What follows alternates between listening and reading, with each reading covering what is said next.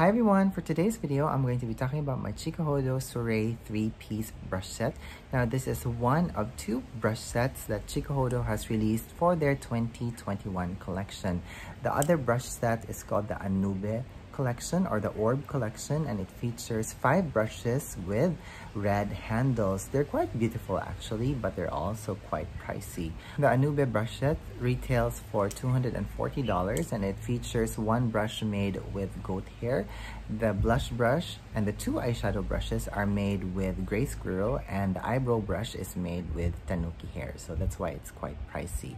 On the other hand, the Soiree three-piece brush set that I have here retails for $105 without shipping. So it's more affordable than the um, Anubis set, but I think it's still quite pricey for a three-piece brush set. Now, I have to say only 300 sets were released per collection. Now, unfortunately, this set is currently out of stock at fudebeauty.com, but I have seen a few pictures of it pop up in Beautylish, but I don't know if it's um, still available. And if you're interested in having a brush set like this, I think you would have to search far and wide through the internet to find one set for yourself. Now, um, I've actually been very, very excited to have these brushes in my collection because these are my first brushes from the Chikuhodo brand. Now, I am very unfamiliar with the brand, uh, mainly because I've only seen them in some YouTube videos and I've only seen some of them in pictures. And um, I actually wanted to visit their head office when I went to Kumano a few days before the brush festival. I totally forgot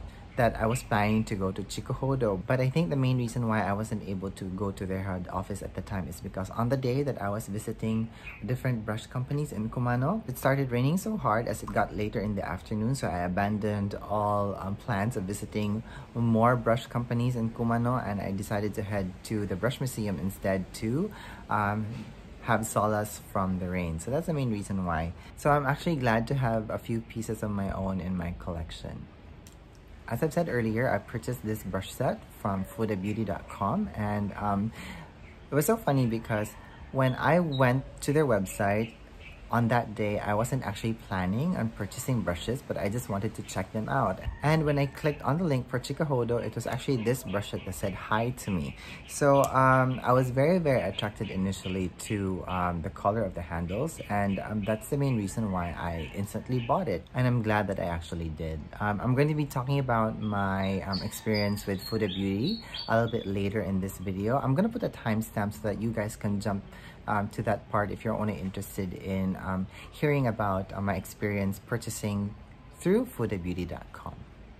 This brush set arrived well packed and came in a pink Chikuhodo box like this. It's very, very beautiful. It's very, very sturdy as well. It's not like some cheap packaging. So um, I really, really appreciated that. And I also found a note inside when I got this um, from Fude Beauty. It's like a thank you note. Thank you for the Beauty for this. I appreciate things like this. And the brushes were actually packed individually inside this plastic bag together with some leaflets from the brand. And you can also see the Kumano Fude authentication seal here. The Soiree set has one powder brush and two eyeshadow brushes. Now, as I've said earlier, I was really attracted to the color of the handles of the brush set. Now, the color actually changes. Um, it depends on the light, but right now you can see that it's like black that gradiates into a very nice blue here with some shimmer shining through but depending on the light it actually changes. So that's the color that we see because I actually have artificial light on because it's very very cloudy at the moment. But under sunlight depending on the angle of the brush and depending on how you hold it it actually gradiates to a very nice purplish mm, like midnight dark blue color and you see some shimmer actually coming out. If you're going to understand the poetry of these brushes, it actually reminds me of Twilight. So it's actually a very, very beautiful brush. Now, the other thing that I have observed about these brushes is the way that the brush handles are designed. It's actually quite top heavy. So it's actually quite um, full in this part and when you're handling it it's actually best to hold the brushes here because this is the part that has the most substantial weight on the brush and if you hold it here you can see that the brush will tend to um, face downward and you have so much tension in your hand and your fingers.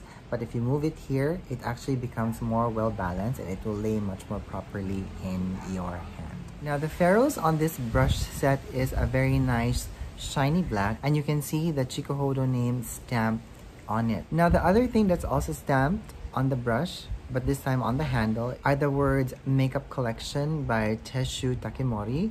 Um, Tesshu Takemori is actually the CEO and the chief artisan of Chikuhodo. So that's why his name is there. Like even on the packaging, his name is also there. Based on the description on fudebeauty.com, I found that the brush handles are actually finished in Yamanaka Makie lacquer. Now, um, I was very, very intrigued by this because I'm only familiar with Kyoto lacquer or Kyo Ishiki as what they call it. And so I decided to do some research and I found out that Yamanaka lacquer is actually well renowned in Japan and they're actually like a very top tier in their artistry. So these brush sets are quite special in that matter. Now, aside from the handles, the other thing that attracted me to this brush set is actually the brush shape of these two brushes because I don't really have these types of brushes on my kit. And frankly, um, with this powder brush, because this is like labeled as a powder brush, um, I don't actually have angled brushes in my kit because um, this is a relatively new type of um, brush head design. And when I first started playing with makeup this wasn't um, created yet. So I never grew up with this type of a brush head design in my kit ever. So that's the reason why I wanted to have it as well. Now this powder brush is made of dyed Saikoho hair and it feels very very soft on the skin very very luxurious and this type of brush is actually great for people who have sensitive skin because it doesn't pull on your skin. It just glides on easily and it doesn't hurt as well. Even if you're like um, putting the brush at an angle like this, it doesn't feel prickly at all.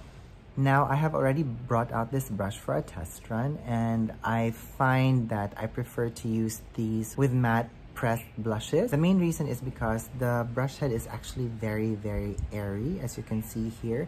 Although the belly is quite full, but the thing with Saikoho hair is that it's actually very, very soft. I noticed that when I used this brush when I tried to pick up some of the Guerlain meteorites and some of the baked um, blushes and highlighters, it didn't pick up the right amount of product that I wanted. But when I use this with pressed powder blushes like this blush here, when you lay it, it doesn't even like cause so much uh, product kick up because the hair on these brushes are very very soft. And because of the airy nature of the brush head when you actually lay highly pigmented blush products onto your cheeks, it doesn't impart a full burst of colors. As you can see here, the color is very soft and diffused. And I have also learned that this brush actually helps me to build up the color intensity that I want. And I like it that way because that's how I actually put makeup on. I always start light and then I build up the color and the intensity um, slowly and gradually. So I really like this. Now I also like using this brush for highlighter because it doesn't pick up a ton amount of product. And when you lay it there, it also helps you to diffuse the highlighter and blend at the same time. So as you can see here, the highlighter is actually blending very well into the blush. And I like that it doesn't deliver like a high impact highlight because I really don't like that kind of a highlighter. Now, I know that angled brushes are designed to add um, contouring, but I don't suggest that you use this type of a brush. The brush head is too fluffy for that, but this works very well with bronzer. Now, the thing with bronzers is that you have to be very careful when you layer them onto the skin because sometimes if you use too much bronzer, it can actually make your blush or your skin look muddy and I find that this brush actually helps me layer the bronzer, the blush, and the highlighter very well together. So it's very, it's a very, very good brush. So as you can see, I have a very light layer of bronzer on and you know I don't have any foundation on I just have some skincare and some sunscreen and this brush created a very nice diffused look that's making my skin look very enhanced without looking very overly done so I like makeup looks like these okay so the next brush that we have here is this eyeshadow brush and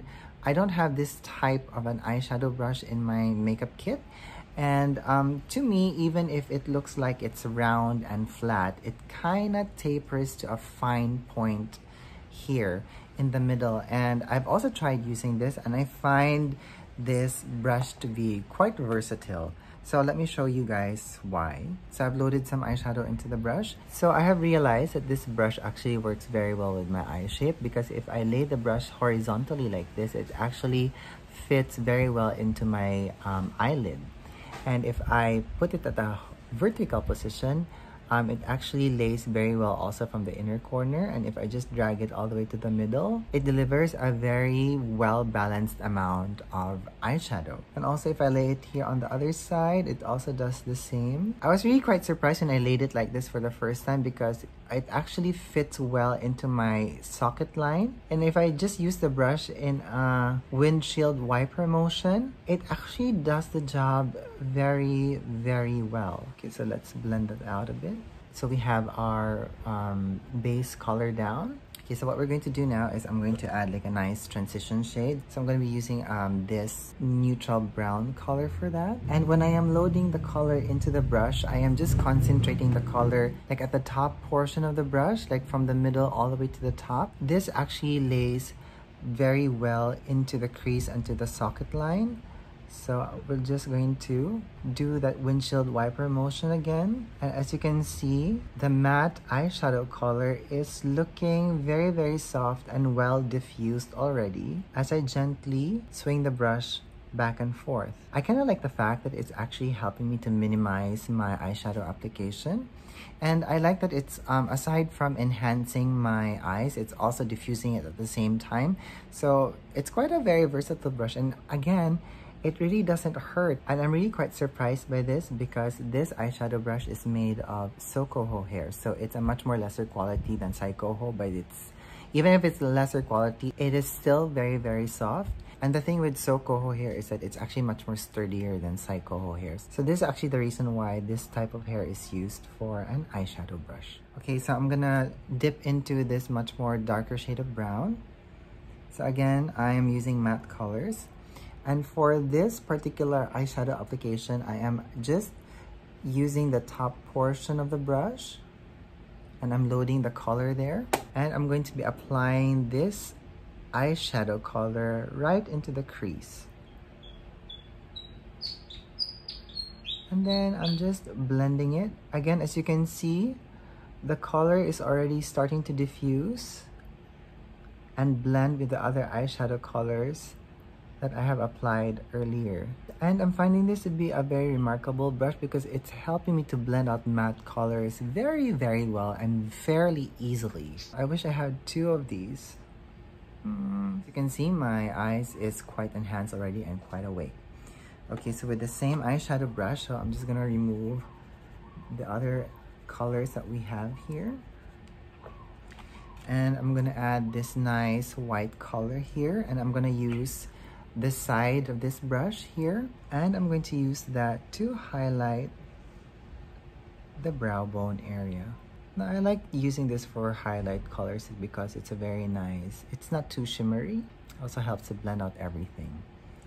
So there, I like this brush. Now the next brush that we have here is a definer brush. So as you can see here, um, I don't really use this type of a definer brush because I find that it the bristles are actually very, very long. And if I was to compare it to the other smudge and definer brushes that I have in my makeup kit, so I have uh, this orange one is a Hakuhodo S144 and the other brush that we have here is a smudger brush from Laura Mercier which is no longer in the market and it, and it has been discontinued. So I initially actually found the Chikuhodo brush to be a little bit too long for my liking, but I was pleasantly surprised on how this turned out. Now this brush head is actually made of Saikoho goat hair and it's very very soft now the first time i tried this i was so surprised because sometimes there are some definer brushes that are very painful to use at the lash line area of the eye because after all this is a very sensitive area